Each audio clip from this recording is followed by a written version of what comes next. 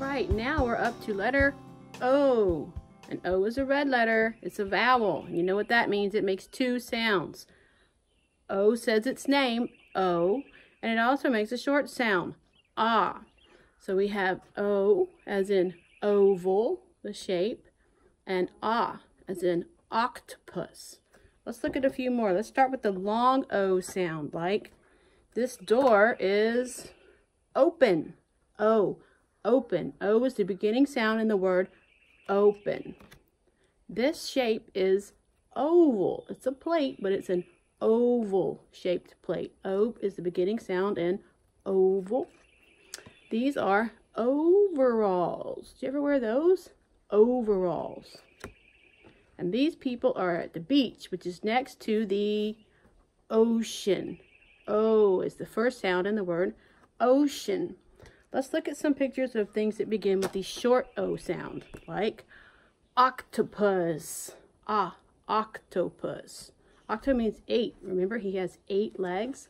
Octo, eight, octopus. This is an ostrich. Isn't it cute?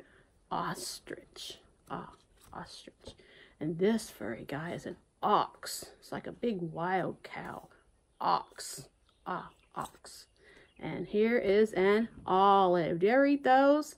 Remember the red thing is a pimento pepper stuck in there. Ah, olives. Some people like those.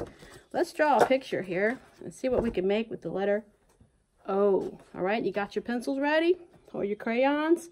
And remember, if you take a picture of it, have Mama send it to me.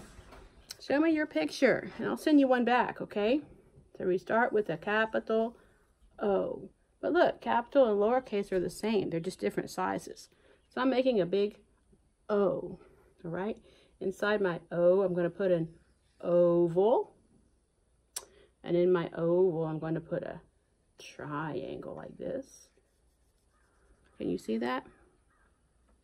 Then I'm going to put two circles.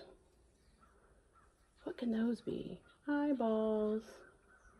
Right, then I'm going to make two of these weird shapes. You see that?